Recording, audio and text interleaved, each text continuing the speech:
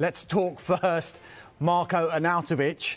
Yesterday, it was all systems go. United appeared to be signing him, and now they've pulled out of that deal.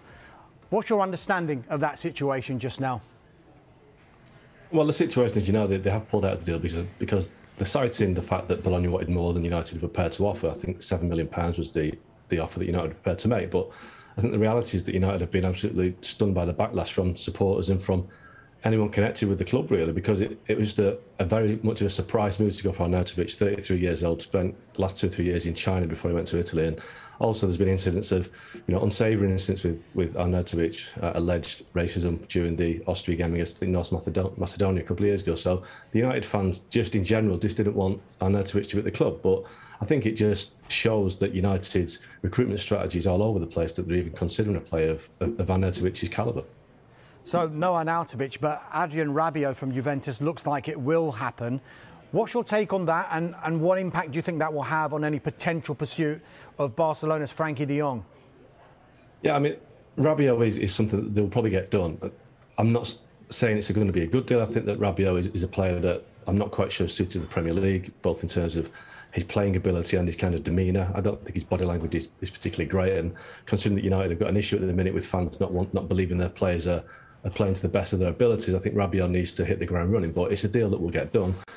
In the sense of, of De Jong, let's be honest, United need more than one midfielder. So they're still in for De Jong, but Rabiot is, is just stocking up where they need extra quality. I don't think McTominay and Fred are good enough. I think Rabiot, if anything, he does have top level experience of you know playing the Champions League, playing internationally with France. So in terms of quality, yes, he will add something, but I don't think he's the right guy for the for the club at the moment. But it doesn't affect how they're looking at the De Jong deal. De Jong is somebody they still want to get in, and that that is one that's kind of held up at the moment with United not quite knowing what Barcelona mean, what they want. Right from the outset of this this transfer saga that it's become, United haven't quite trusted Barcelona. They're, they're getting one message from Barcelona privately, and then Barcelona, you know, Joan Laporta going into the media, the local media in Spain, in in Barcelona, and for the fans, they're saying something different. So it's a trusting with United, but I do think that they do believe that De Jong wants to come. But as we know, there's a lot of other issues involved, such as finance and, and whether De Jong is prepared to, to leave a Champions League club like Barcelona. Mark, it's clear uh, all is not right at Manchester United. Can you put your finger on how and why we've got to this point? Well, I think it, the one common thread through the last 10 years of the club's decline has been the Glazer family, and the Glazers, for me, are, are the problem. And, you know, they've spent a lot of money. You can't deny that. They've spent a lot of money, but they've wasted a lot of money. And for me, I think right now, they no longer have the money to invest that they need to invest.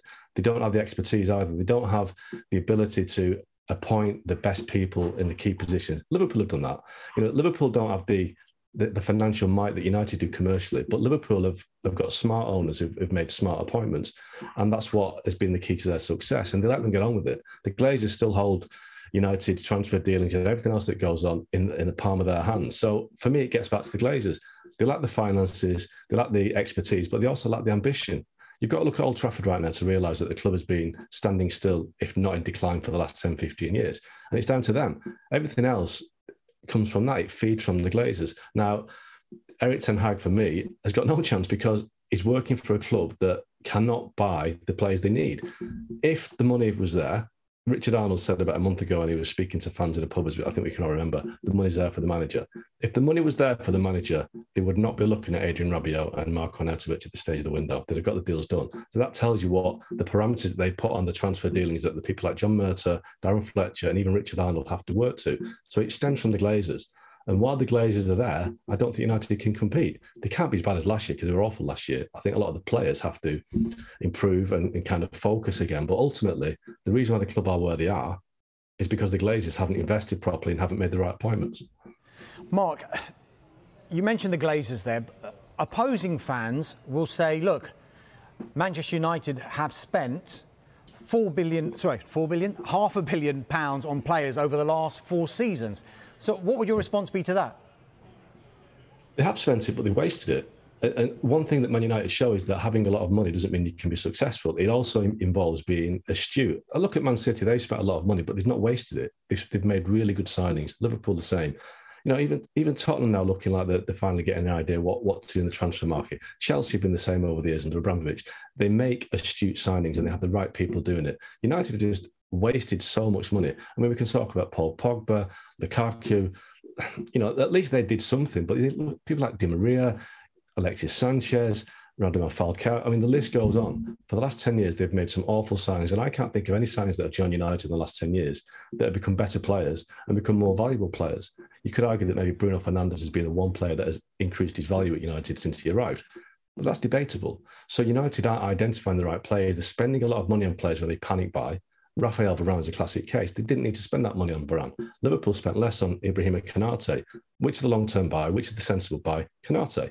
So United invest a lot of money but they waste it. And that is the problem that the Glazers don't quite know the value of the money that they're spending or wasting. I think Ed Woodward going is a, is a good thing because I think Ed was part of the problem.